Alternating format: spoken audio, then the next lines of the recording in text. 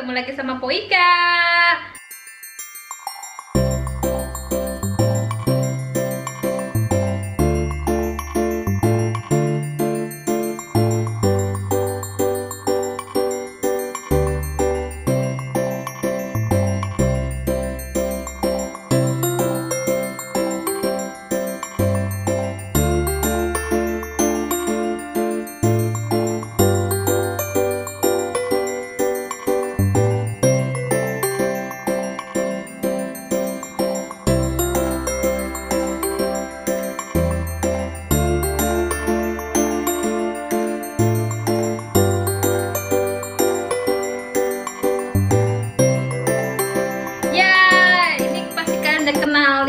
Inget banget posisi Poika di sini. Berarti kita masak-masak.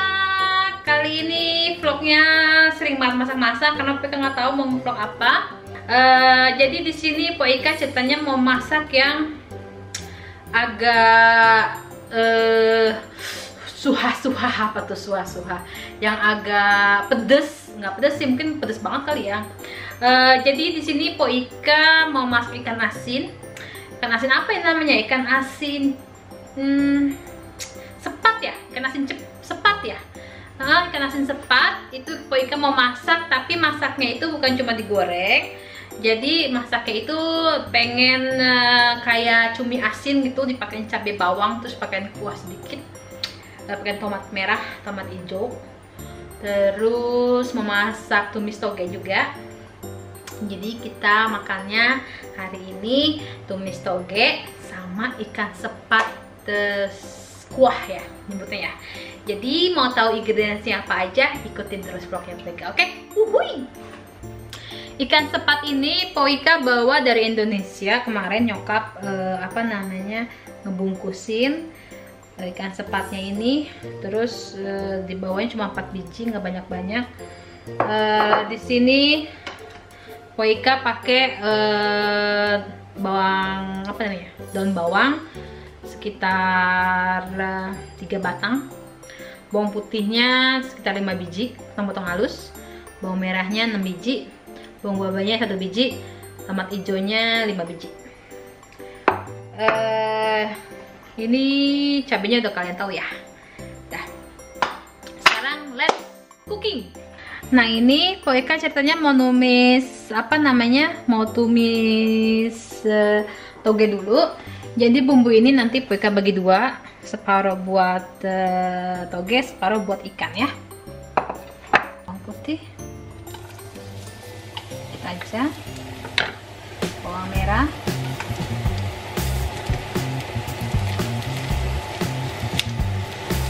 bawang bombay. Ini buat toge ya.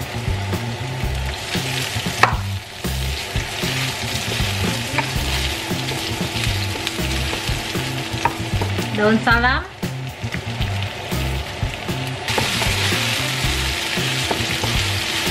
Nah, terus kemarin itu Poika bikin sambal bakso tapi nggak habis. Jadi di sini ceritanya Poika mau pakai buat eh, apa toge ya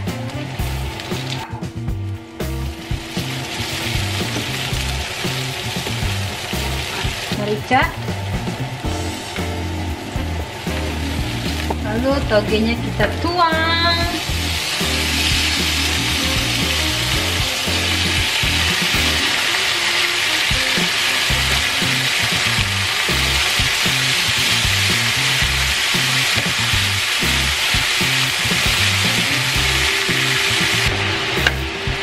Terakhir kita masukin daun bawang. Bagi dua juga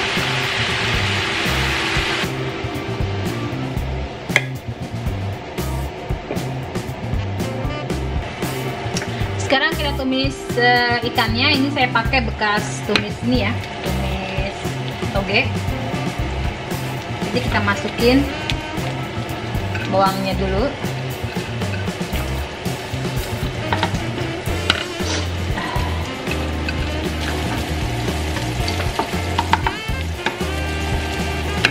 Terus kita goreng sebentar ikannya di sini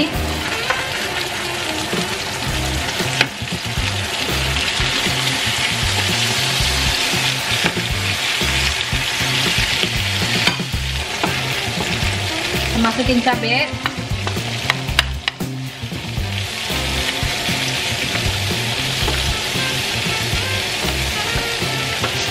merica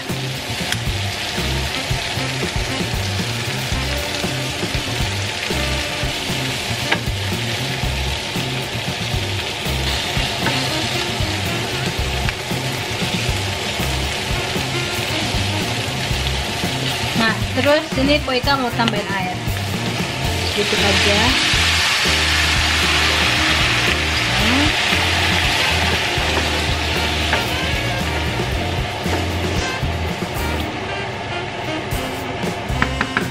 Terus kita masukin semuanya.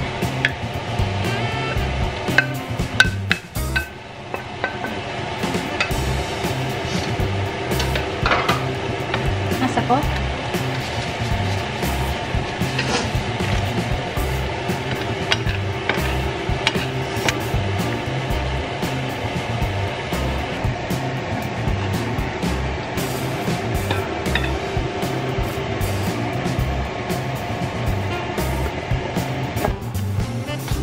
Ya, ini dia menu Poika. Tumis toge pakai sambal goreng. Terus ini dia. Wala, mantap. So, jadi hari ini Bang Sabeni lagi nggak di rumah, dia tebor. Jadi Poika masak bisa bebas. Yang bau-bauan bebas cuy. Ini ikan sepatnya. Hmm.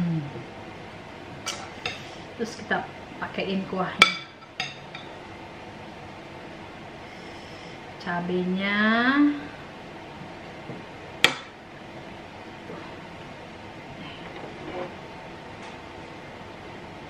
Cabe-cabean. Fokus nggak? Ya. Nih, jadi kalau masak ikan asin, nyata ikan asin sepat ini nggak ini cuy, apa nggak terlalu asin. Jadi ngerendamnya jangan lama-lama ya. Kita mulai, Bismillahirrahmanirrahim. Aduh, ini enak banget pasti. Ini saya cuci tangan ya. Cabenya, togenya. Hmm.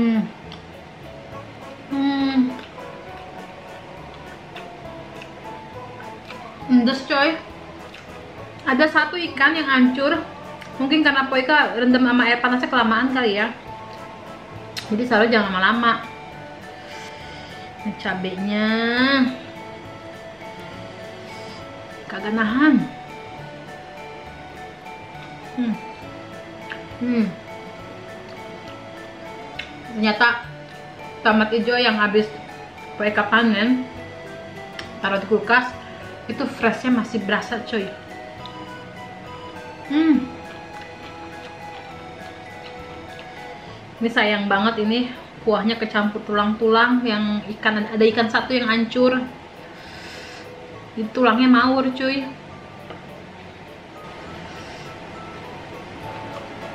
Hmm.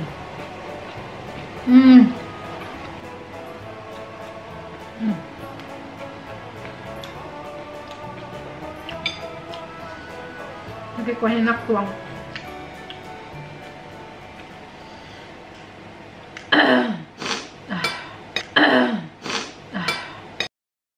Oh no!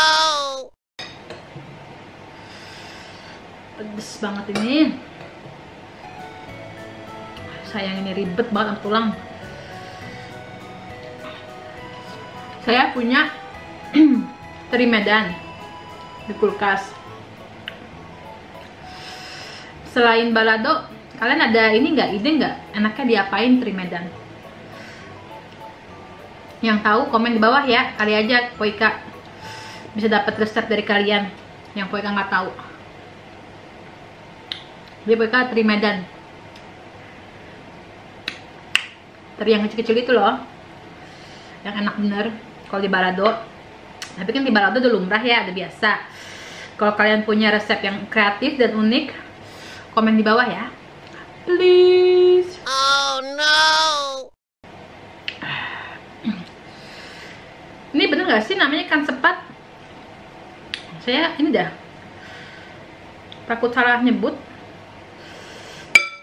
Ini asli enak banget. Ah, sayang kerupuknya habis. Kerupuk saya habis. Belum goreng lagi.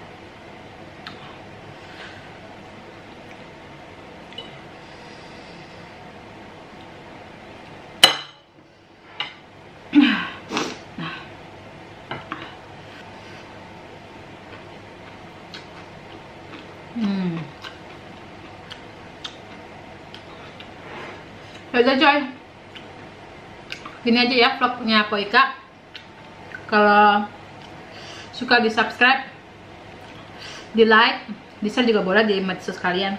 Terima kasih udah ikutin vlog Ika masak kali ini. Ini asli. Silahkan resep coba di rumah.